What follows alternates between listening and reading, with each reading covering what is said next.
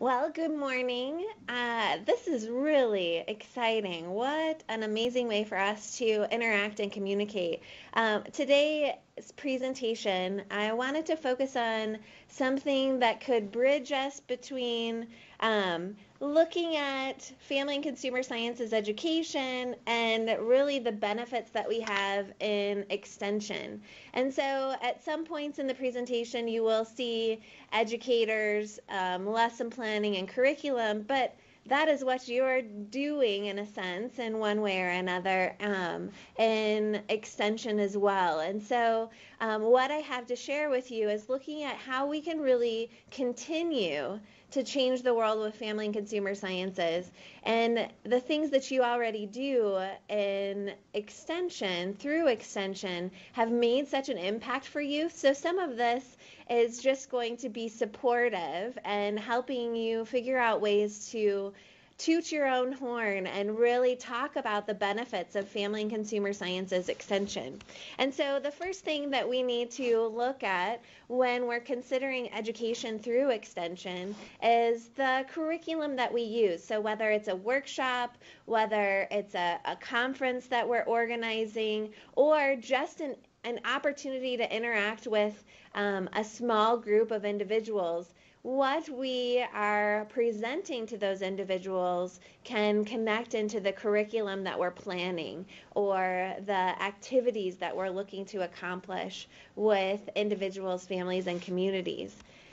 And in that process, we come up with different strategies that work well for us in communicating the content. So even though the slide says teaching, uh, extension, we're communicating content, providing resources and information uh, through a variety of means and media to individuals, families, and communities. So, um, thinking about those tools that you use for creativity uh, to enjoy the process yourself. I find it's easy to get caught up in the day to day tasks that we have before us, but how can we truly enjoy being creative with the resources that we have and the connections that we can make with individuals, families, and communities.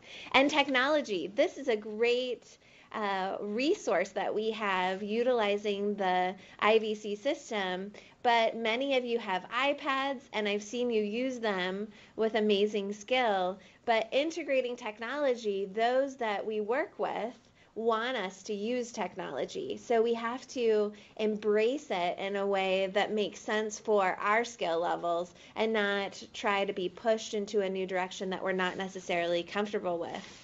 And so, where do we really start in this process of trying to continue to change the world with family and consumer sciences and to communicate our relevance and how we can be useful to to individuals, families, and communities today. And so I've got a lot of ideas that I want to share with you, some videos, um, books that you might want to look into just to support the work that you already do. So the first one that I came across and I actually teach a class on campus called Methods for Teaching. And um, last semester, I had about 30 students in the class, which is a high number for our methods classes. Um, and this was actually the textbook that I used, and it's called The Third Teacher. And the organization that developed this, it's actually a collaboration between an architecture firm, so designers, and educational consultants, so individuals who focus on um, the process of education. And in this book, they look at how we can use design to transform teaching and learning. So if you look at the resources and the materials that you that you use, um, are you considering and incorporating design into that process to make it aesthetically pleasing? Because the resources that you're developing are getting out into homes, uh, they're available online, and when people download them, is it going to make them want to continue to download those resources? Sounds like we've got a live mic. Heidi, I've got you logged into the bridge twice. So you've accidentally connected two different pods to the bridge. Could you close one of the pods, please? Or Marilyn, I'm sorry. Marilyn, you're logged in under Heidi.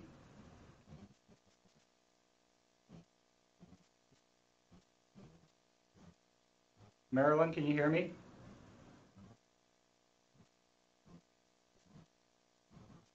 Mm-hmm. I think it's quiet now. Okay. Should I keep Yeah, just keep going. Um, so the pictures that I showed you in the previous slides connect into that design aesthetic and looking at our surroundings, and that's classified as the third teacher. Our environment impacts the educational experience or how individuals perceive family and consumer sciences and their experience. So if we have the space that's appropriate, um, it helps us to be better teachers. Uh, and one of the things that they come across with is this whole process of if you are an educator, you are a designer. You're designing the educational experiences for individuals, and we have to take the opportunity to really remake those experiences and look at what, if we're working with youth, they're going to want that technology. They're going to demand that technology. So, those are some resources that they've come up with. Another one is uh, called the Sketchnote Handbook. And this is a really fun book uh, that I've been using quite a bit, even just for my planning process and looking at the opportunity to connect words and ideas to sketches. Uh, I find that when I'm working with individuals, uh, multitasking is very common. Wanting to sketch out or doodle while maybe a lecture is happening. And so now we can empower people, individuals, to continue those sketches and to jot down ideas. So taking the napkin concept and empowering individuals to integrate that into uh, their learning experience. So then the takeaway is really interesting. And when we revisit these notes and see these sketches, it can get us re. Um, build that excitement level again, which I think is really exciting. So, I've got my first clip to share with you on sketchnoting. So, and I'm going to give you an opportunity to um, sketch as we go through the presentation. So here's the first clip, really looking at how we can use something as basic as note taking to encourage our participants to walk away with the benefits of family and consumer sciences in their everyday life. I was uh, inspired by Conan O'Brien, but this never saw the light of day until now. I really like the quote that he had at the end of his show where he talked about nobody getting what they want in life. Well, sketch notes are these thing that I discovered about three years ago. I was a pretty hardcore note taker, and I took notes by hand, and I wrote. I tried to capture every detail of meetings. Unfortunately, it was really stressful, and I always felt like on the clock and like worried that I'd miss something. And one of the first conferences that I went to was in Chicago, and it was called the Seed Conference. And I decided I would take a small Moleskine notebook and a gel pen, and that was it. And my focus would be on just the ideas. And I went and I had a lot of fun capturing those. And those turned into sketch notes. They were typography and drawings, as well as notes all mixed together. And the idea of stepping back and getting the meta ideas that were being talked about and not every last detail was really refreshing. People that were at the event who saw them really resonated with them and thought they were helpful. 37 Signals actually picked it up on their blog and, and featured it, and that's where I started becoming known for this. And that led to um, the book Rework that I did with 37 Signals because they knew about my sketchnoting and my sketching approach.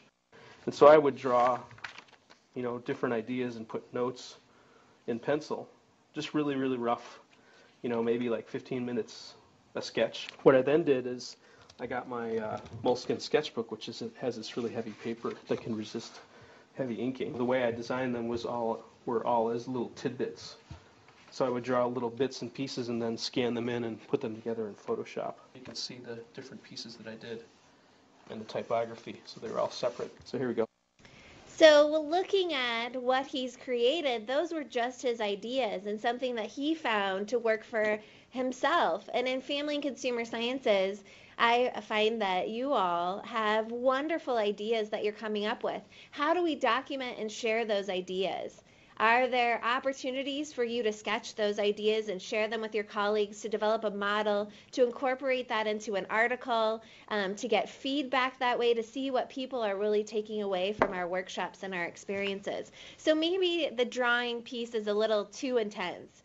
Um, it might stress you out. So that might not be the best approach for you or some of the individuals in your workshops or activities. So there's another way that we can approach this uh, collecting and gathering of ideas and information. So the next clip focuses on something called smashing.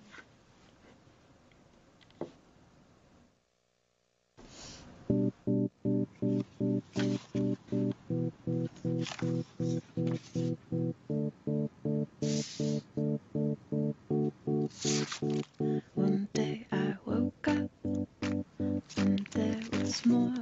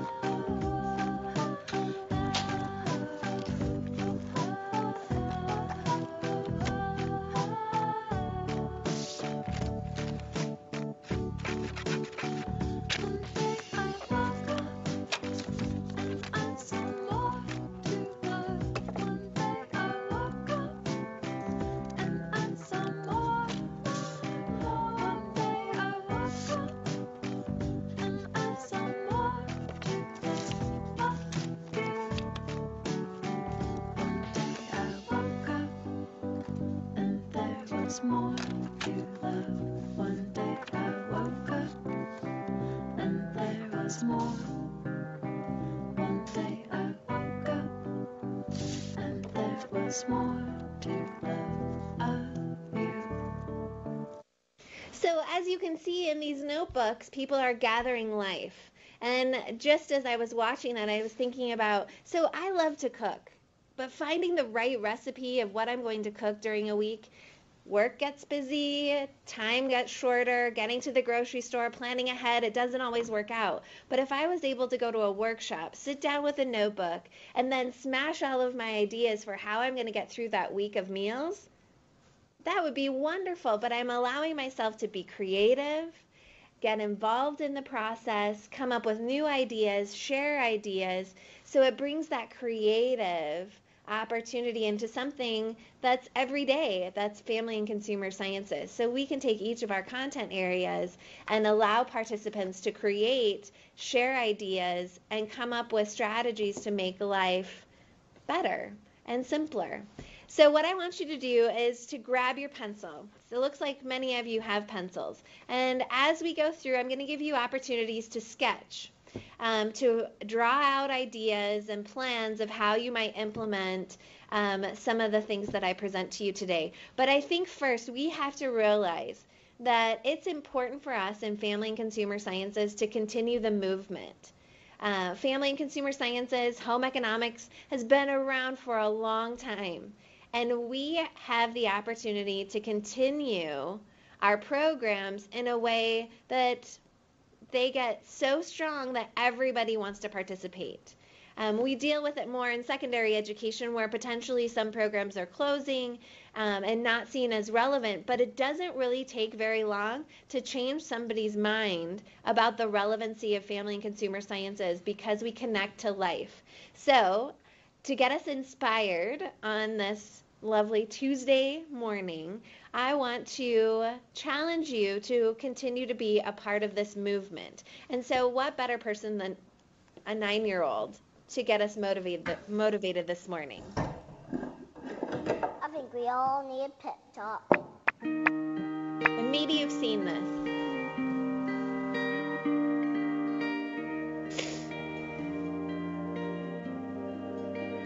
The world needs you to stop being boring. Yeah, you. Boring is easy. Everybody can be boring, but you're gooder than that. Life is not a game, people. Life isn't a cereal either. Well, it is a cereal. And if life is a game, aren't we on the same team? I mean, really, right? I'm on your team. Be on my team. This is life, people. You got air coming through your nose. You got heartbeat.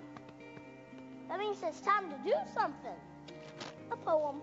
Two roads diverged in the woods, and I took the road less traveled. It hurt, man! Really bad. Rocks, thorns, and glass. My parts broke. Wah! Not cool, Robert Frost. But what if there really were two paths?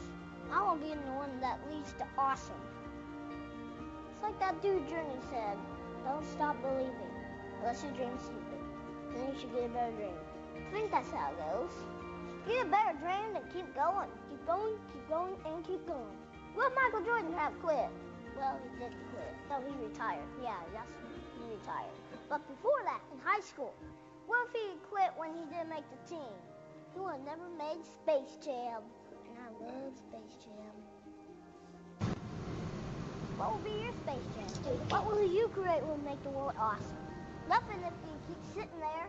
That's why I'm talking to you today. This is your time. This is my time. It's our time.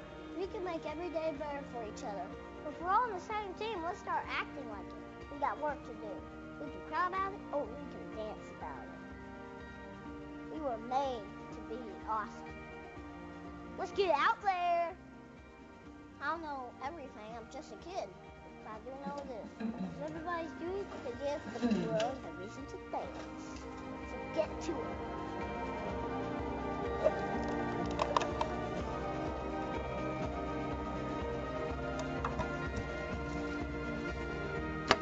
just give pep talks. Create something that will make the world awesome.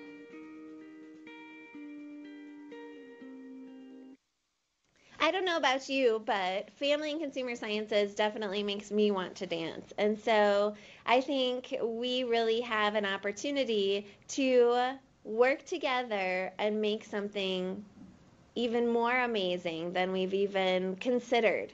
And so on the screen, you can see I've provided you with a little overview, a screenshot of a process that I've been experimenting with to develop ideas and refine things that I do on a regular basis. And there are really four steps that we're going to go through today. And um, the first one, I think it's easier for you to read when I make it larger, is step one, I think, is to refine the process. So, what mechanisms, what techniques are we going to use as family and consumer sciences professionals to communicate the content that we uh, have identified as important? And then crafting a vision. What's that unified vision for what we're doing? How can we come together and really support each other so that we're on the same page? And I think that when we look at the courses in our professional practice, um, we want to create programs that are designed to challenge participants to think, create, and ultimately learn this new information to improve their quality of life. And so, going back to the beginning here, the profession, looking at family and consumer sciences as a whole, we're right in the center.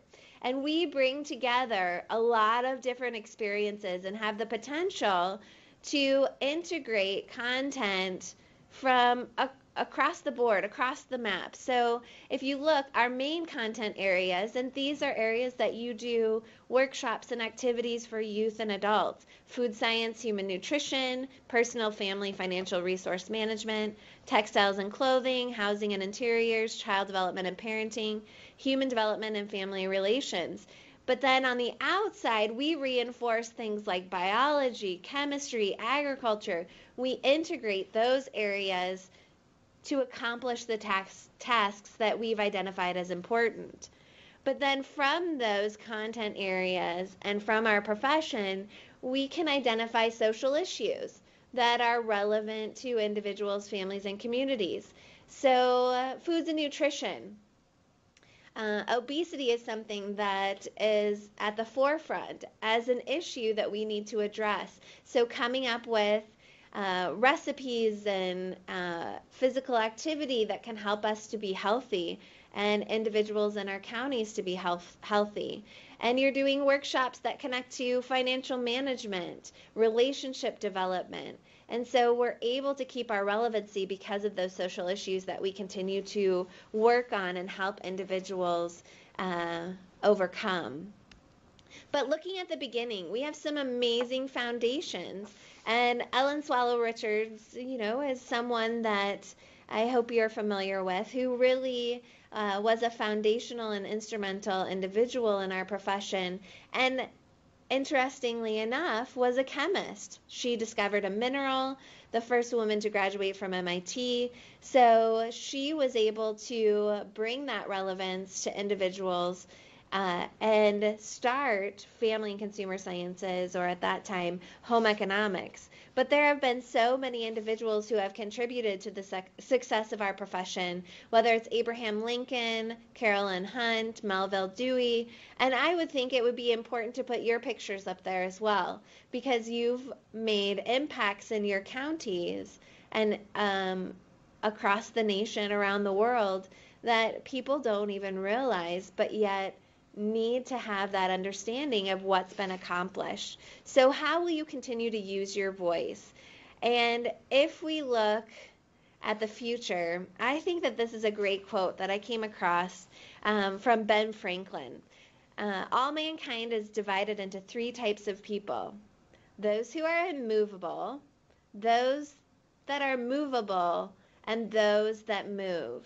And I think in extension, we move a lot. We're doing a lot of things and really making a difference. And so the next clip, I'm actually going to skip through it because I have some other things that I want to share with you. But remaking our experiences, and there's a hashtag involved in it. Oh, maybe I'll show you a little bit of it. Taking something that we're familiar with that's maybe considering four white walls, right? Maybe the workshops that you're doing are located in an area that have four basic white walls. And that's sometimes what we have to deal with. But can we remake that experience with a little creativity and maybe a little elbow grease too, so that people want it's a place for people that they want to come to, they want to experience. For example, on campus, our clothing production labs, they need to be updated. But because there's so much opportunity for creativity, the students flock. They're even there. You can drive by our building and see the lights on at midnight because they're on a project working on something and yes they have a deadline but they want to be there because they can be creative they can um, express themselves through something hands-on so remaking your physical environment and seeing what we can do it doesn't necessarily cost much my name is Steve Mattice. I am a math and science teacher here at Roosevelt Middle School. I have been teaching for about seven years now. Steve had a problem. His classroom was too small for the 36 students who poured in and out every period, and too cramped to accommodate the student to student collaboration he knew encouraged deeper learning. They're extending this knowledge. When they're working together, they're happier and more positive and more likely to participate. I've got a lot of kids and a lot of desks. Things pile up very quickly. Um, even kids can sort of pile up very quickly in here. The maneuverability of this room is not always fantastic. Then he met the folks at the Third Teacher Plus, whose job it is to help educators reimagine their learning spaces. See how they all took on the challenge of remaking Steve's classroom to be a home for exploration, creativity, and better communication. Teachers around the country will totally identify with this classroom. An incredible number of kids and limited space. So one of the things we're going to be looking at is how does Steve move around the classroom? I'm Christian Long, and I was a high school English teacher for about 15 years. As a member of the Third Teacher Plus, our job is to create spaces that allow people to be remarkable students, remarkable educators. When people think design, a lot of times they think veneer, they think decorating. Yeah, we want it to look better, but unless we can change and facilitate a really productive classroom, then we're not really making a difference. I'm Melanie Kahl, and I'm a design and learning strategist at the Third Teacher Plus. We're going into a classroom, identifying things that work and things that could work better, taking $1,000, a designer's eye, a lot of community resources. We try to match the physical classroom environment to teaching and learning goals. And in one weekend, we hopefully realize them.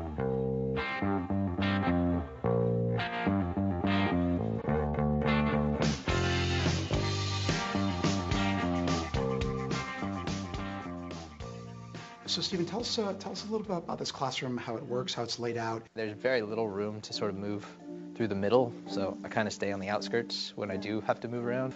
I've got 36 kids, plus backpacks, books, jackets. There's so much stuff just within the aisles. Just trying to get through is, is almost like trying to get through rush hour. In, in your world here, what, what is crucial that you have up here to be successful in class? Um, I use the Elmo or the overhead a lot just for more direct teaching. The Elmo is a document camera that connects to a projector and projects anything that I'm writing up onto the screen. It's not a big workspace. Like, obviously, I've got a, a stool here to sort of make.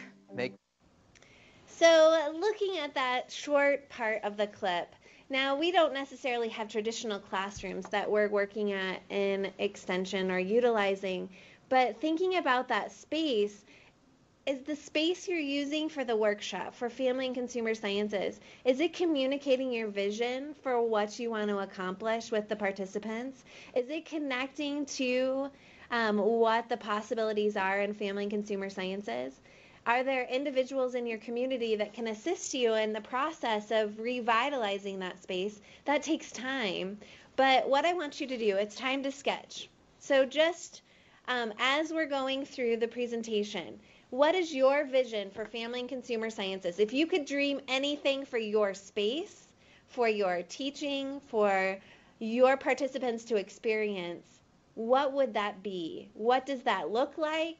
What's on your list of things that you want to achieve in the next year through family and consumer sciences? So take a minute and jot those things down because really, if we don't put it into writing, if we don't get it on a piece of paper, we might move on to our next task and not remember what that was that we were excited about at that point. So we might as well take the opportunity to start that list. So just take a couple seconds and, and write down a few things that connect to your vision for family and consumer sciences and what you'd like to accomplish in the next year.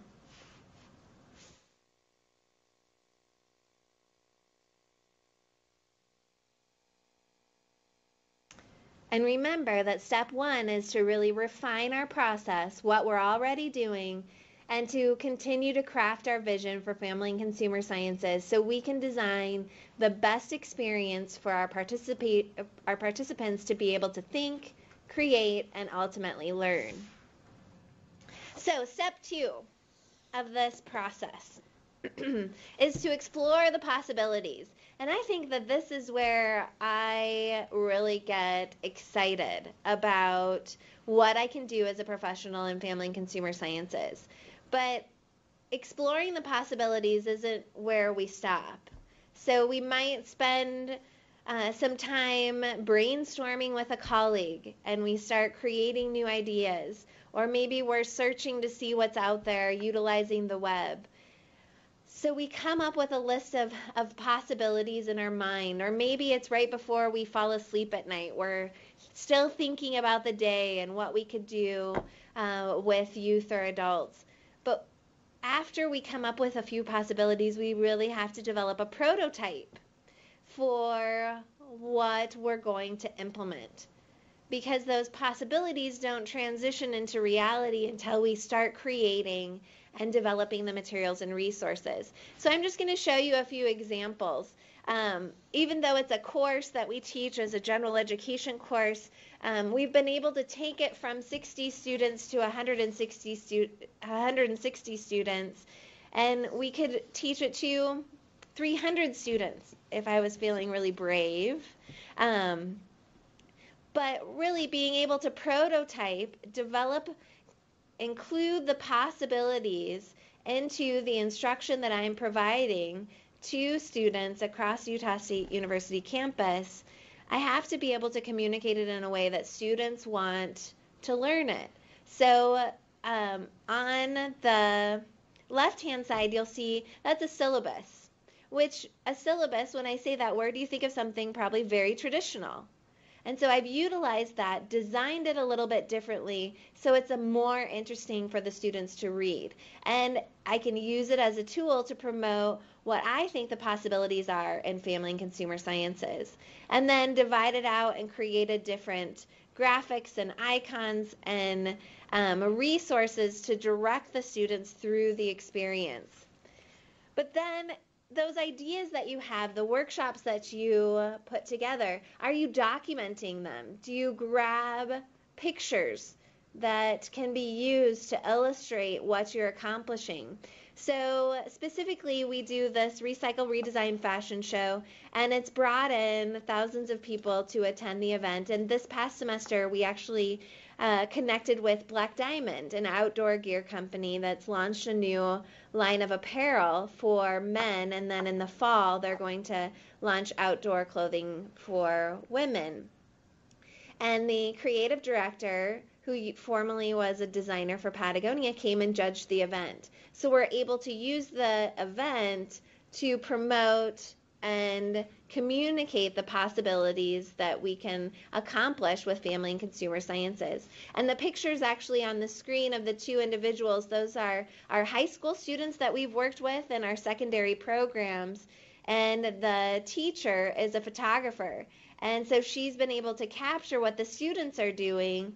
So this isn't just something that we do on the Utah State University campus, it's something that's happening in secondary classrooms around uh, the state as well. So taking one idea and seeing how it's blossomed and transferred into other locations across the state. And here are some of the flyers that we've used, taking pictures of students in recycled fashion, um, and it draws a lot of attention and gets people thinking about what could be. And these are some of the the fashions that have been created and utilized and won awards um, for the assignment. And then this is a screen capture from a presentation that I did for Zappos on education couture. So we have couture for clothing for us to wear, but why don't we create couture for educational experiences? The best, most coveted experiences that we can provide through family and consumer sciences. So transforming our teaching and learning with that design element. So it's time to sketch for part two, step two. What are the possibilities in your area? what are some of the ideas, the new ideas that you want to develop for workshops and classes that connect to things that you've seen as important in your county? So, connecting to those possibilities and developing those prototypes. So, take a couple minutes uh, or a couple seconds, I guess, and explore the possibilities. What are the prototypes that you need assistance developing? or want to develop for your professional practice.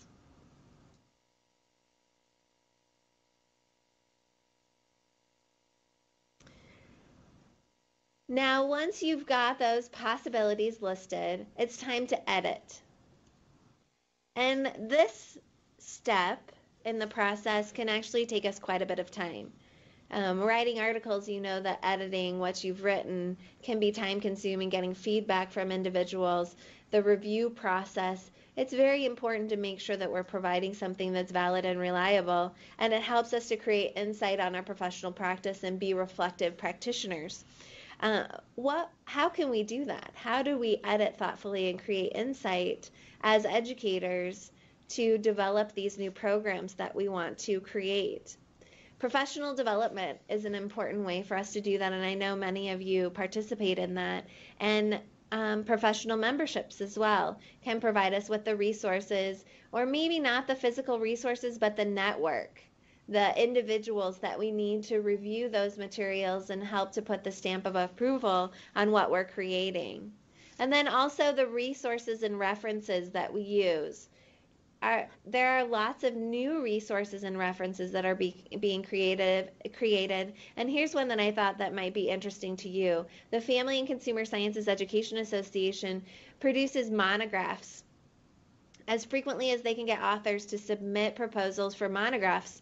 They will review and it's a blind review process and publish the monographs showcasing different model, models.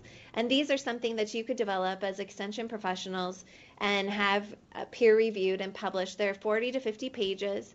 And I'm working actually with Dr. Brain on one looking at sustainability, education, and family and consumer sciences. And it's been approved. So, so we're in the writing phase of um, putting it together to be uh, to go through the final review process. So this one, a model for ob- obesity education curriculum for family and consumer sciences. And I know that you're working on that issue, so this could be something that you could do to help with the tenure and promotion process or to communicate what you've been successfully completing in your counties. Another resource, and we've talked about this at the nutrition conference, but iBooks, creating e-textbooks, um, pulling together resources and materials, um, creating apps for that. That's something that's been discussed a lot at the annual conference, and we have opportunities and support to do that. But we can, in Family and Consumer Sciences, create those applications that individuals can use on a daily basis, on a regular basis, whether it's for an iPad or an iPhone. Um, we can be the information resource for individuals instead of going and Googling it all the time, they can come to us and find that information.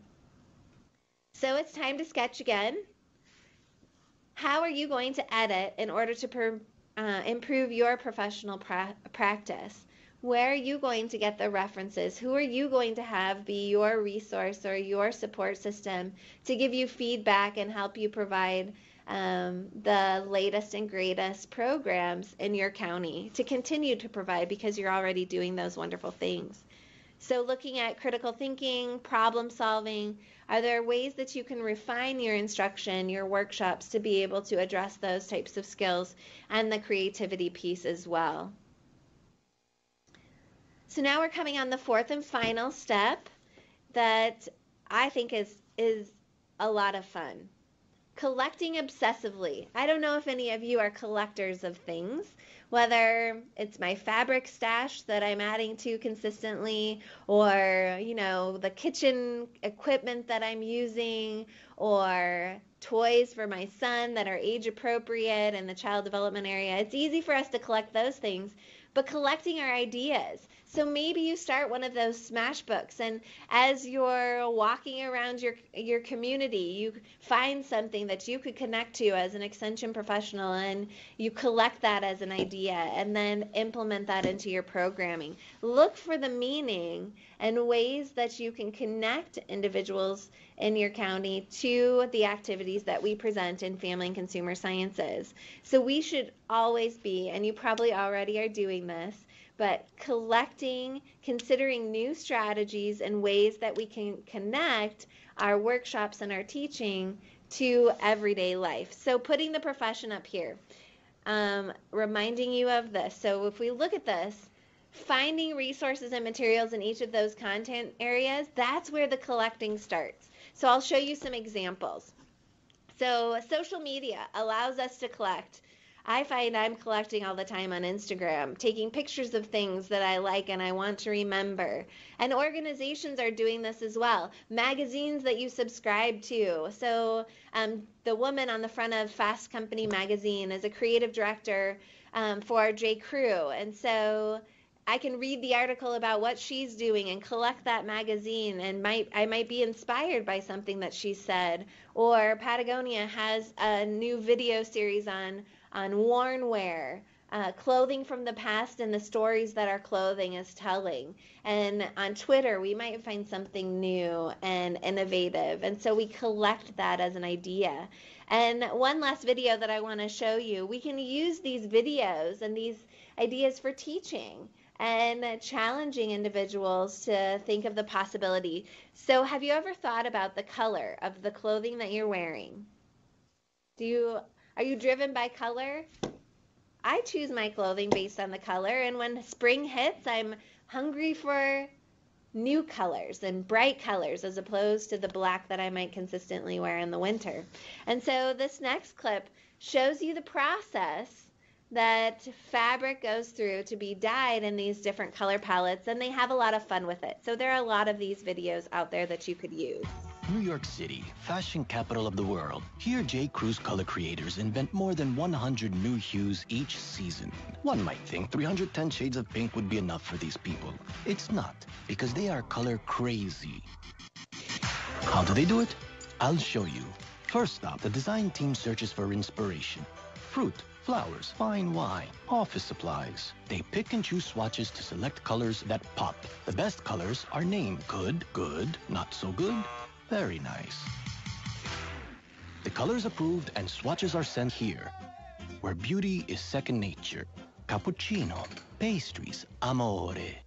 Onto the color lab. Colors are matched with the best fabric for optimum saturation and shade. It's just a little advanced hydro color theory, dynamic algorithmics, state-of-the-art-ish computing, and beakers. Lots and lots of beakers. Fabric is dyed and sent back to New York. If they like what they see, they send it back to Italy and give it to this man, the charming Luigi. Please continue. Luigi loads 100 yards of fine double cloth wool from this guy into the Dye Master 5000. Dye, buttons, pipes, more dye. Don't worry, that's normal. I think that's normal. And there you have it. Vibrant color comes to life. It's art meets science meets a guy named Luigi. Ah, how can I forget Pietro and Fabrizio and all the rest of the team that bring you the brightest, most fabulous double cloth coats season after season. So it gives us an interesting perspective on the process that our clothing goes through to become that vibrant, amazing color. And I was intrigued and interested, so it brings clothing to the forefront and connects it to science and art and there's math in there as well which is is useful for our programs because we're covering those areas. But then the teaching strategies that we use the strategies that we use to engage people. And i'm just going to briefly present these because i want to allow some time for questions. Uh, and i would be happy to elaborate and provide you some more resources on these strategies. But problem-based learning posing a problem and having a group of individuals go through and come up with a variety of solutions group investigation, working in teams, collaborative teams to solve issues and problems or to create a demonstration. So you don't necessarily have to provide all of the information, but challenging individuals and participants to come up with ideas and share their information as well. Practical reasoning is another strategy. Direct instruction, which is lecture. Mastery learning, where there are stations for individuals to go through to uh, master content or information, inductive thinking. Synectics is where we use analogies. So when we're talking about something, um, whether it's food or relationships, so we can have our participants develop analogies to explain what they know or to present what they know about a subject. So, for example, describe your relationship by creating an analogy. My relationship is like a rose. It blooms when it's fed with water and given support and structure, etc. I don't know. That was just last minute thinking on my feet. Concept attainment, role play. Creating an experience for your participants to role play. Cooperative learning, and also demonstration can be a common strategy that we use in family and consumer sciences as well. So, how are we telling our story? Utilizing marketing and social media, presenting information using um, websites and resources in innovative ways Facebook, Pinterest, um, Twitter, YouTube, infographics. We can use those and have individuals help us to edit them and create um, a story on an issue that we're addressing.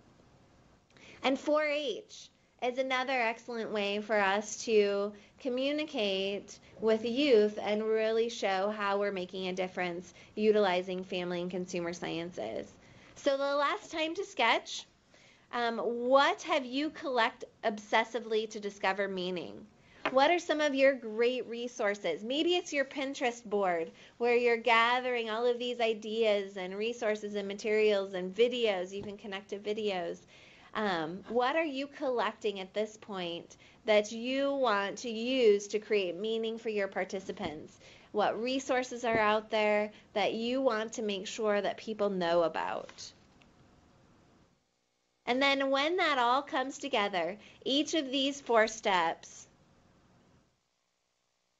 we can see that there's this whole cycle that we go through it again and again to refine what we do in family and consumer sciences and ultimately to change the world and improve the quality of life for individuals and families. So, what are you going to create with your pencil for family and consumer sciences? What questions do you have?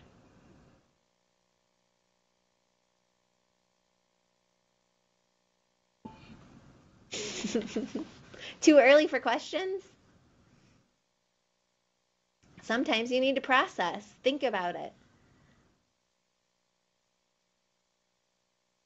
And maybe you'll have some questions later. Lindsay, this is Suzanne. Hi, Suzanne. So I have a question. It's not what you asked, but the question I have is what was that classroom um, situation so we can watch the end of it? That was interesting. Yeah. So Edutopia, I'm not sure if you're familiar with Edutopia.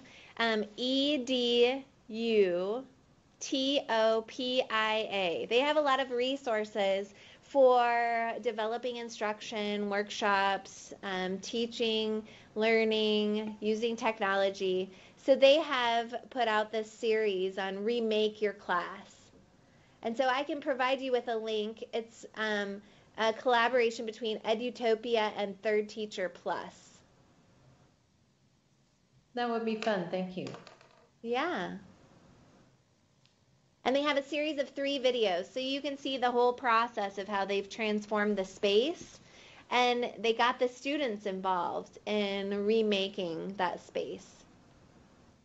And you can even Okay, go to you. Third Teacher Plus, their website. If you search for Third Teacher Plus, they have a website that shows you all of the different resources and, and projects that they've taken on at different universities, different schools. Excellent. Okay. And also, can you put back the question about what have you collected obsessively? I, I didn't get that all written down. That Let's one. see. Yep. What have you collected you. obsessively to discover meaning? Okay.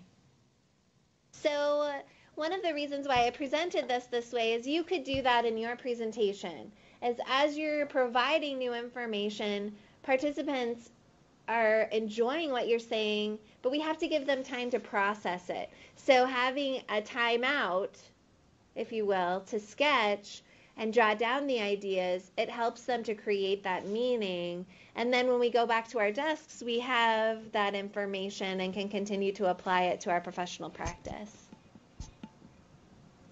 Okay, thank you. Mm-hmm.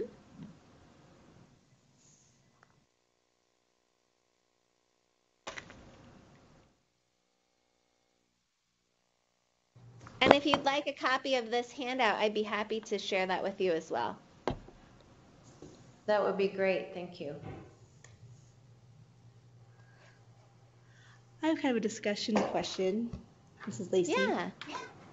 Um, I find it sometimes difficult to even find room sometimes for my programming. What are some of the techniques that you're aware of or other agents use to get places to be, but also to create the, the welcoming environments when you're kind of using rooms on loan, like they aren't really dedicated to Yours. extension? Yeah, um, that's a great question. And I find when I've had different events that I've had to do, because um, in my professional history, I've been a secondary teacher, I've worked at other institutions, and, and sometimes even finding space for, we have candidates interviewing on campus, for us to have a nice breakfast and discussion is difficult. So I think you have to identify the resources in your community What are places that you like to go to that might have enough space? And then develop a relationship with that organization or that entity. So then, after you get to know what their needs are, you can say, Well, I can help you with that need. And I would enjoy the opportunity to connect more people to your space. So I think just finding those partnerships and true collaborative opportunities to say, I can do this for you. Would there be an opportunity for me to rent your space or utilize your space?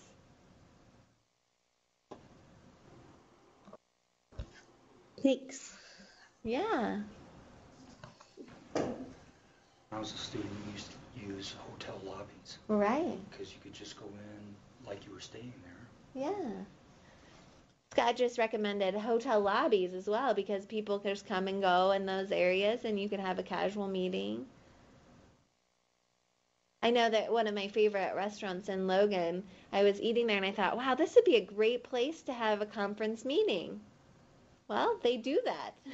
they allow for that and they have a person who's identified to organize it. So it actually made my life easier because that was something that they provide as a place that you can rent and they serve the food and it's good food. So then you have a successful event, right? If the food's good, you're on your way.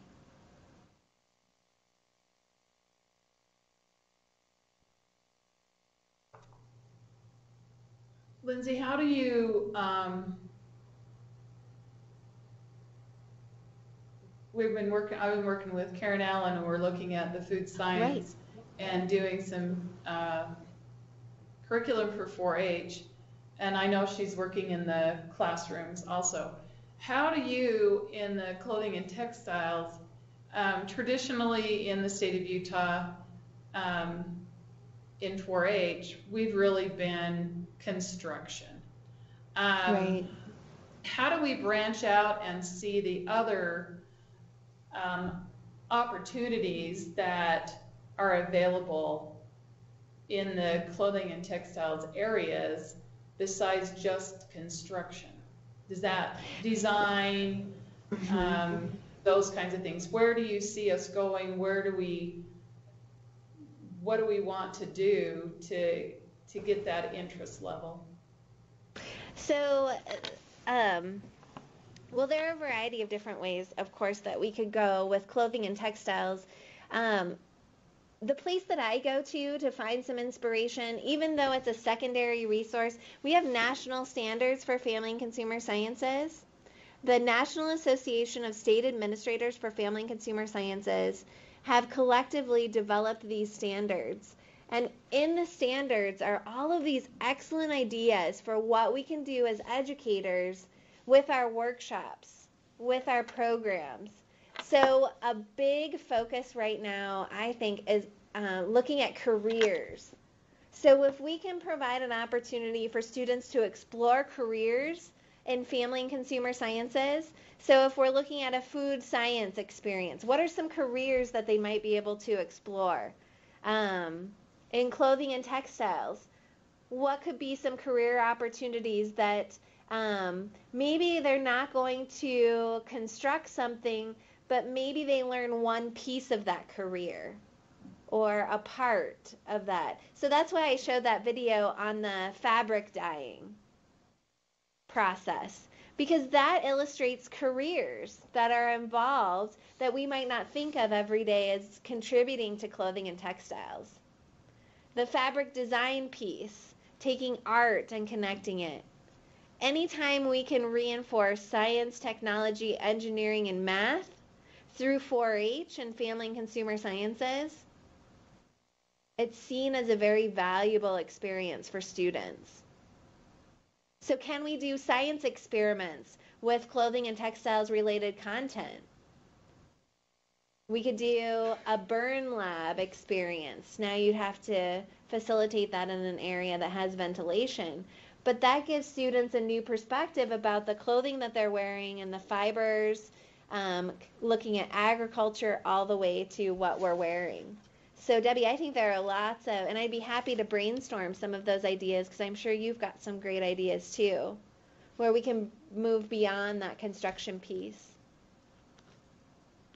I think that's great. We'll have to, we need to do that, I, Okay, for sure. let's do. Because I know our secondary programs, our teachers who teach clothing um, and textiles concepts, they want new ideas too. And our programs need those ideas.